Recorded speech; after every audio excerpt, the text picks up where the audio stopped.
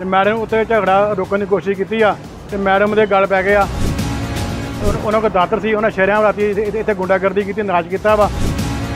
ਉਹਦੇ ਕਾਰਨ ਜਿਹੜਾ ਮੈਡਮ ਨੂੰ ਰਾਤੀ ਬਹੁਤ ਜ਼ਿਆਦਾ ਸੱਟ ਲੱਗੀ ਆ। ਮੈਡਮ ਦਾ ਮੁੰਡਾ ਅਮਰਵੀਰ ਆ, ਨਾਲ ਉਹਨੂੰ ਵੀ ਬਹੁਤ ਜ਼ਿਆਦਾ ਸੱਟ ਲੱਗੀ ਆ ਜੀ। ਪੁੱਛਗਿੱਛ ਦੇ ਦੌਰਾਨ ਬੰਦਾ ਫੜਿਆ ਸੀਗਾ ਤੇ ਉਹਨਾਂ ਅੱਗੋਂ ਮੈਂ ਐਸਐਚਓ ਸਾਹਿਬ ਤੇ ਹਮਲਾ ਕਰਤਾ।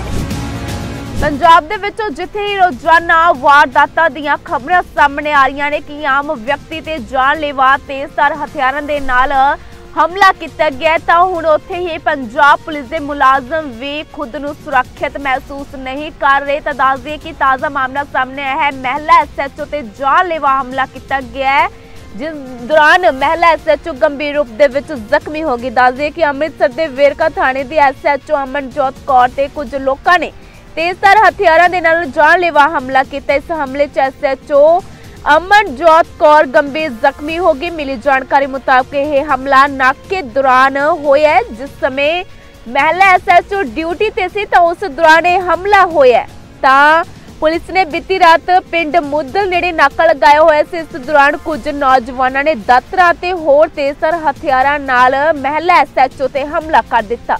ਜ਼ਖਮੀ ਹਾਲਤ ਦੇ ਵਿੱਚ ਮਹਿਲਾ ਐਸਐਚਓ ਅਮਨਜੋਤ ਕੌਰ ਨੂੰ ਇੱਕ ਨਿੱਜੀ ਹਸਪਤਾਲ ਦੇ ਵਿੱਚ ਭਰਤੀ ਕਰਵਾਇਆ ਗਿਆ, ਜਿੱਥੇ ਕਿ ਉਹਨਾਂ ਦਾ ਆਪਰੇਸ਼ਨ ਚੱਲ ਰਿਹਾ ਤੇ ਜੇਰੇ ਇਲਾਜ ਨੇ। ਰਾਤੀ ਇਥੇ ਪਤਾ ਲੱਗਾ ਜੀ, ਰਾਤੀ 9 ਵਜੇ ਤੋਂ ਬਾਅਦ ਝਗੜਾ ਆਇਆ ਜੀ। ਮੈਡਮ ਬਾਈਪਾਸ ਦੇ ਨਾਕੇ ਤੇ ਜਾ ਰਹੇ ਸੀ ਤੇ ਮੈਡਮ ਉੱਤੇ ਝਗੜਾ ਰੋਕਣ ਦੀ ਕੋਸ਼ਿਸ਼ ਕੀਤੀ ਆ ਤੇ ਮੈਡਮ ਦੇ ਗਲ ਪੈ ਗਏ ਆ। ਉਹਨਾਂ ਨੰਗੀਆਂ ਤਲਵਾਰਾਂ, ਉਹਨਾਂ- ਕੋਲ ਦਾਤਰ ਸੀ, ਉਹਨਾਂ ਸ਼ਹਿਰਾਂ ਰਾਤੀ ਇੱਥੇ- ਗੁੰਡਾਗਰਦੀ ਕੀਤੀ ਨਾਰਾਜ਼ ਕੀਤਾ ਵਾ। ਠੇਕੇ ਤੋਂ ਸ਼ਰਾਬ ਪੀ ਕੇ ਬਾਹਰ ਆ ਕੇ ਝਗੜਾ ਕਾਂਡਿਆ ਪਿਆ। ਤੇ ਉਹਨਾਂ ਸੜਕ ਜਾਮ ਕੀਤੀ ਸੀ ਤੇ ਉਹਦੇ ਉਹਦੇ ਕਾਰਨ ਜਿਹੜਾ ਮੈਡਮ ਨੂੰ ਰਾਤੀ ਬਹੁਤ ਜ਼ਿਆਦਾ ਸੱਟ ਲੱਗੀ ਆ। ਮੈਡਮ ਦੇ ਕਿਰਪਾਨਾਂ ਤੇ ਰਾਤੀ ਦਾਤਰ ਵਜੇ ਆ। ਮੈਡਮ ਦਾ ਮੁੰਡਾ ਅਮਰਵੀਰ ਆ। ਨਾਲ ਉਹਨੂੰ ਵੀ ਬਹੁਤ ਜ਼ਿਆਦਾ ਸੱਟ ਲੱਗੀ ਆ ਜੀ। ਅਸੀਂ ਸਰਕਾਰ ਨੂੰ ਇਹ ਅਪੀਲ ਕਰਦੇ ਹਾਂ ਮੁੱਖ ਮੰਤਰੀ ਸਾਹਿਬ ਨੂੰ ਵੀ ਇਹ ਜਿਹੜੇ ਦੋਸ਼ੀ ਆ ਇਹਨਾਂ ਸਖਤ ਸਜ਼ਾ ਦਿੱਤੀ ਜਾਵੇ। ਐਸਐਚਓ ਸਾਹਿਬ ਨੂੰ ਰਿਪੋਰਟ ਆਈ ਸੀ ਕਿ ਮੂਦਲ ਪਿੰਡ ਲੜਾਈ ਹੋਣ ਦੀ ਆ ਤੇ ਉਹ ਲੜਾਈ ਦੇ ਮਸਲੇ ਦੇ ਵਿੱਚ ਮੂਦਲ ਪਿੰਡ ਗਏ ਸੀ। ਤੇ ਉੱਥੋਂ ਉਹਨਾਂ ਨੇ ਕੋਈ ਪੁੱਛਗਿੱਛ ਦੇ ਦੌਰਾਨ ਬੰਦਾ ਫੜਿਆ ਸੀਗਾ ਤੇ ਉਹਨਾਂ ਅੱਗੋਂ ਮੈਂ ਐਸਐਚਓ ਸਾਹਿਬ ਤੇ ਹਮਲਾ ਕਰਤਾ।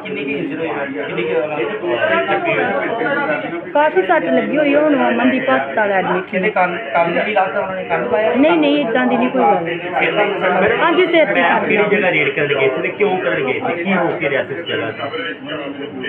ਸਰ ਰੇਡ ਕਰਨੀ ਗਏ ਲੜਾਈ ਝਗੜਾ ਹੋਇਆ ਸੀ ਉਹਦੇ ਸਬੰਧ 'ਚ ਇਤਲਾਹ ਆਈ ਸੀ ਤੇ ਉਹ ਮਤਲਬ ਉੱਥੇ ਲ- ਅਹ, ਉਹਦੇ ਸਬੰਧ 'ਚ ਗਏ ਸੀ। ਹਾਂਜੀ। ਚੜ੍ਹਦੀ ਕਲਾ ਟਾਈਮ ਟੀਵੀ ਲਈ ਅੰਮ੍ਰਿਤਸਰ ਤੋਂ ਪੱਤਰਕਾਰ ਬਬਲੂ ਮਹਾਜਨ ਦੀ ਖਾਸ ਰਿਪੋਰਟ।